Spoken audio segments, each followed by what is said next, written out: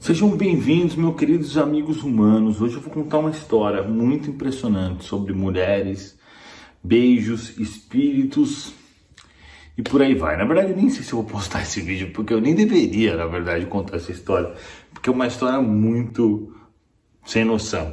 Obviamente que nenhuma pessoa normal gravaria um vídeo e postaria, mas eu vou postar porque eu não tô nem aí, eu achei muito engraçado. Uma bela de uma fofoca, eu sei que vocês gostam disso, como que importa para mim é o canal e as coisas do espiritismo. Vamos lá contar essa história para vocês. Essa é uma história muito engraçada mesmo. Mas se você for inscrito raiz do canal, já deixa o seu like e assiste até o final. Se você não for, melhor você ver outro vídeo, porque esse vídeo aqui até dá. Eu deveria ter vergonha, mas como não tenho vergonha de nada, eu não vou ter. Então vamos lá. Pessoal, se inscreva no meu Instagram lá, Essabag, tá bom? E é isso aí, né? Uh, bom, vou contar para vocês o que aconteceu comigo. Como vocês todos já sabem 200 vezes, eu terminei meu casamento. Vem cá, Urso. Eu terminei meu casamento faz um tempo aí, sei lá, deve fazer uns dois meses, alguma coisa assim. E porque ela não aceitava o espiritismo e tudo mais. Então os espíritos falaram, Eduardo, não tem como, né? É, acabou o período que você tinha que ficar casado com ela, agora acabou, é uma nova fase da sua vida. Vim pra cá, tudo mais. É óbvio que a pessoa fica triste, eu fiquei bastante triste por um bom período, fiquei bem mal, na verdade, por um bom período. Aí os espíritos falaram: olha, já que você é uma pessoa que segue tudo que a gente fala, etc., nós vamos te ajudar. Fizeram cirurgias no meu cérebro e cortaram esse remorso, essa, não remorso, mas esse, esse sentimento ruim que a pessoa fica, que não tem nada do coração, é tudo no cérebro mesmo, né? Cortaram a questão energética, eu já contei isso em outros vídeos, então vamos pular para a parte que interessa. Aí tudo bem, eu cheguei aqui em Balneário Camboriú faz um tempo já que aconteceu isso. E fiquei pensando, bom, legal, né? Agora me separei, tô solteiro, os espíritos falam que não pode sair por aí fazendo sexo com as pessoas, mas isso é óbvio que eu não quero fazer, né? Uh, mas eu posso conhecer alguma mulher, na verdade. O que, que tem? Que mal tem? Tô aqui solitário, tudo, dá aquela tristeza tal. Aí eu falei assim, o que, vocês acham, hein, amigos? É o que eu chamo eles de PE, na verdade, que é plano espiritual. Falei, aí, PE, o que, que vocês acham? Eles falaram assim, não, melhor não. Dá um tempo aí. falei, não, mas eu quero. Eu, eu falei, mas pô, eu vou ficar aqui sem fazer nada no final de semana inteiro, pô. Pelo menos eu, né? Que eu não conheço ninguém aqui, na verdade. Mudei faz pouco tempo. Só conheço os espíritos. Eu só vou. Eu vou jantar com os espíritos, vou almoçar com os espíritos, vou na praia com os espíritos. O que é legal também, né? Mas tudo bem. Aí eles falaram assim, não, então tá bom, já sei. Eu vou deixar se ser com uma menina, eu vou deixar. Eu falei, ótimo. Aí eles falaram, abre o Instagram. Eu abri, ele falou, essa daqui, conversa com ela. Comecei a conversar, e aí eles prestando atenção na conversa. Eu falei, vocês vão ficar me ensinando também?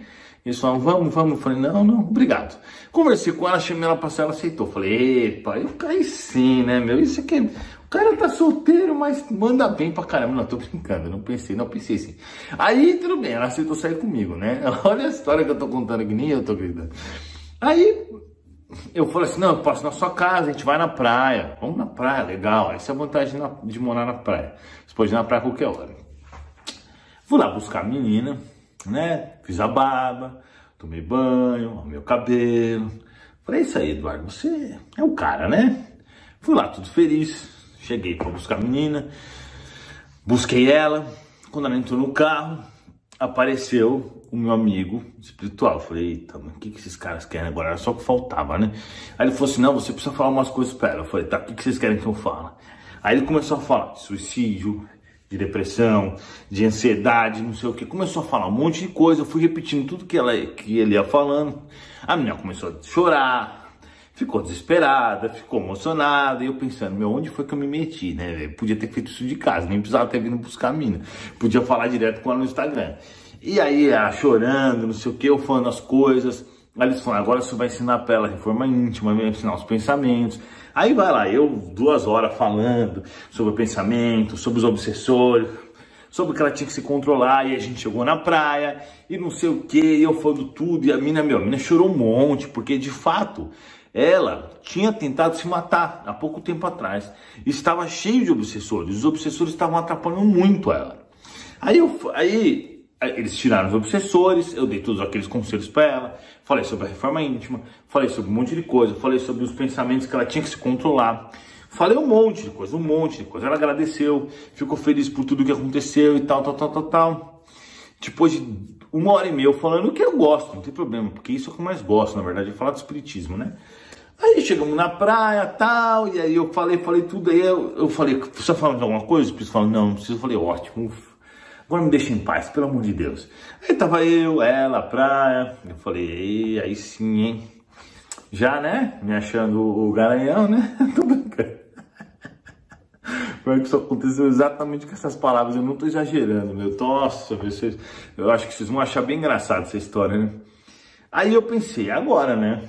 Vou dar uns beijinhos pelo menos, né? Já que eu fiz todo esse trabalho que eu podia ter feito de casa, porque às vezes os espíritos falam para falar as coisas para as pessoas. Eles falam, pega o celular, muita gente fala comigo no Instagram, né? Muita gente. Eles falam, ah, fala isso para essa pessoa, fala isso para isso, isso, isso, isso, isso. Agora mesmo, acabei de falar com uma moça, à tarde eu falei com um cara, mas não precisava encontrar mulher para isso, né? Mas acho que eles fizeram de propósito, já que eu estava tudo querendo conhecer novas pessoas. E aí eu cheguei na praia, e tava eu e ela, praia, o solzinho tal, uma cena bonita. E de repente eles falaram, não, nós vamos embora. Você não vai aproveitar da situação que a gente criou, de sensibilidade para ficar com a mulher. Nós vamos embora. Eu falei, como assim vamos embora? Pelo amor de Deus, vocês estão brincando, brincadeira comigo, né? Eles falaram, não, nós vamos sim. Fala para ela que você tem que ir embora.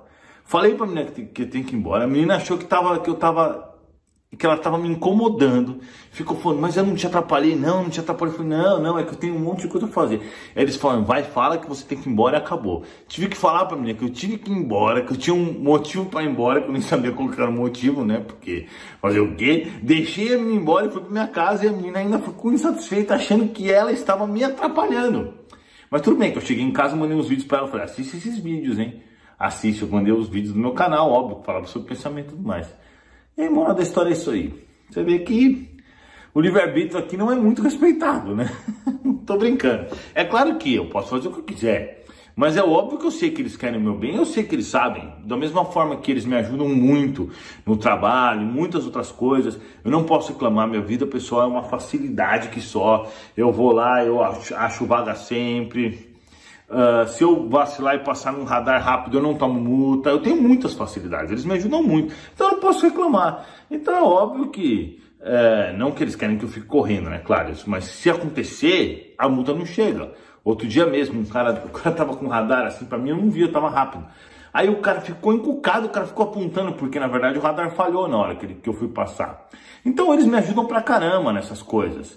Claro que, óbvio, eu não, eu não posso fazer nada ilegal, nada ruim, né? Óbvio, nada que prejudique alguém. Mas eles me ajudam.